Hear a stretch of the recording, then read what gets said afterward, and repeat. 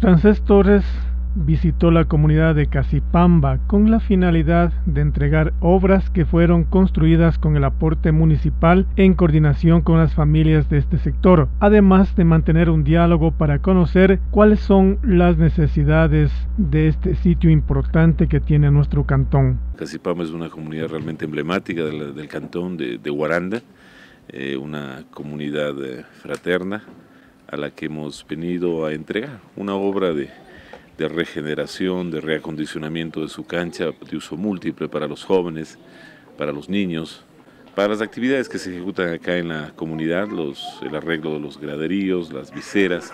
Yo creo que siempre es importante eh, cumplir en función de los compromisos que se asumen, eh, más allá de hablar o de referir o de ofrecer algo, es hacer las cosas que se tienen que hacer.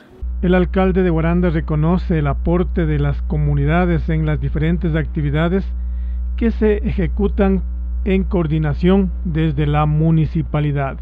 Bueno, la comunidad realmente sí, el apoyo de la comunidad siempre es importante, esa actitud de trabajar de manera participativa, creo que hace de nuestras comunidades y hace del cantón eh, un cantón de progreso, de bienestar, de oportunidades.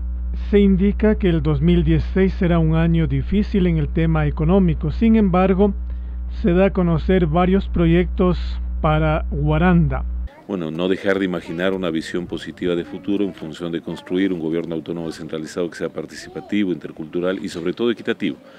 El año 2016 es un año eh, difícil, complicado, probablemente desde la, ah, desde la situación económica, pero de muchas oportunidades para trabajar en función de los proyectos importantes para Guaranda.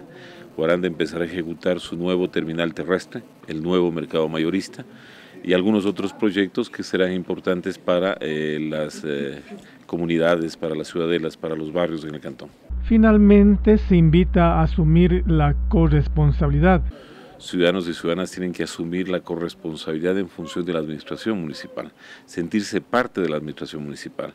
Somos eh, los mismos que hemos sido siempre. Acá no ha habido una actitud de cambiar, sino de mantenerse en función de cómo uno ha sido y obviamente con muchas más responsabilidades también.